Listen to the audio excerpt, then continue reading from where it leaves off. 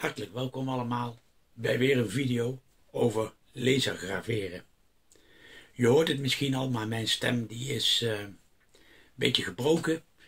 Uh, ik ben verkouden en vandaar dat ik ook niet zo verschrikkelijk veel zal praten vandaag. Maar ik wil u toch uh, een video laten zien, een video maken. Reden waarom is dat we, het zal misschien de laatste video voor de komende 4, 5 weken zijn, gezien de vakantie. Um, toch tijd voor deze video. Wat gaan we doen vandaag? Dat is iets wat ik al heel lang wil, maar ik uh, kon steeds nog maar niet vinden wat ik ervoor nodig heb. Eigenlijk nog steeds niet. Maar ik heb even een klein omweggetje gevonden. Je kunt namelijk ook steenlaser graveren. Um, ik heb me altijd afgevraagd of dat ook met zo'n 10 watt laser kon, ja of nee. Nou, dat ga ik vandaag laten zien. Um, met als het goed is, dat dat kan, want ik heb gisteren een proef gedaan, alleen die heb ik niet meer, kan ik niet meer laten zien. Die heb ik ergens weggelegd, um, zodat anderen hem kunnen vinden. Um, ik zoek eigenlijk wat grotere stenen, zeg maar 7 bij 7 of zo. Maar ik heb wat kleinere stenen, kiezelstenen die zo af en toe in mijn tuin terechtkomen. En die wil ik gaan voorzien van tekst en of eventueel een tekening. Het procedé in Lightburn ga ik u niet laten zien. Kijk, we weten allemaal hoe we tekst moeten lezen.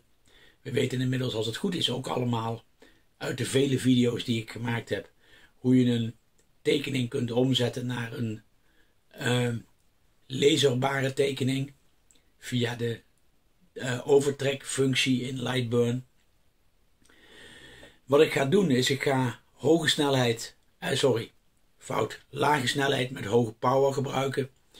Gisteren heb ik gebruikt, ik dacht 250 mm per minuut bij 85% en dan één pas. Zag er goed uit, maar ik denk dat het beter kan. We gaan vandaag dus proberen 100 mm per minuut bij 95% en dan twee en kijken hoe dat eruit gaat komen.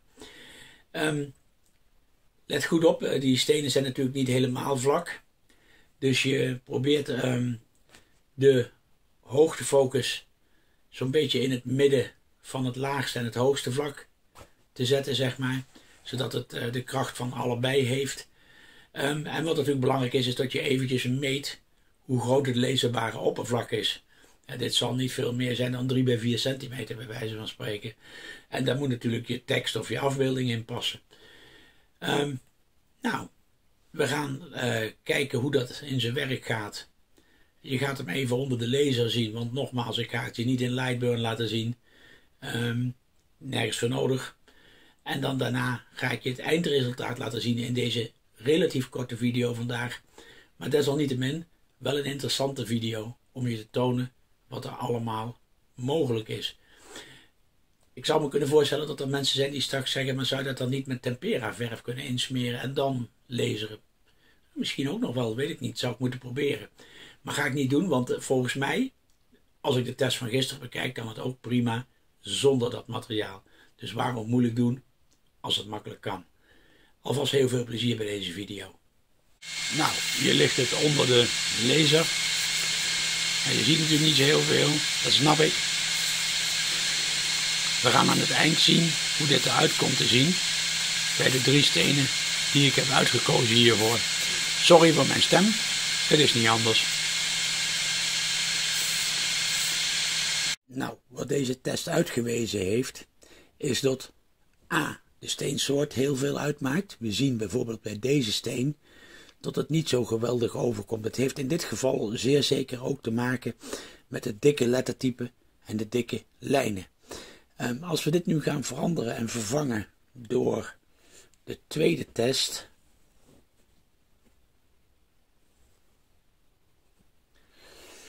Dat is duidelijk wat dunner en komt er ook wat beter uit te zien, maar desalniettemin is het nog steeds niet erg fraai. In mijn tuin vond ik ook een zwarte steen. En ook dat wil ik je even laten zien. Hij heeft wat imperfecties. Dat heeft te maken door, met wat, uh, wat dingen die op de steen zitten, als ik het goed zie. Maar we gaan daar duidelijk een nog beter resultaat zien. Kijk, zo kan dus een goede steen er gelezen uitkomen te zien. Dit is een beetje een zwarte steen. Het is geen steenkool. Dit is echt steen. Ehm, maar je ziet een ontzettend mooie witte afdruk. Niet al te dik lettertype. En dan is steen dus op een hele goede manier te lezen. Zonder tussenkomst van bijzondere, bijzondere middelen. Ik hoop dat je het leuk vond. Nogmaals, sorry voor mijn stem. Gaat u op vakantie binnenkort, dan wens ik u een hele fijne vakantie toe. Um, tot de volgende keer, maar houd er rekening mee dat dat wel een week of vijf kan duren. Dag.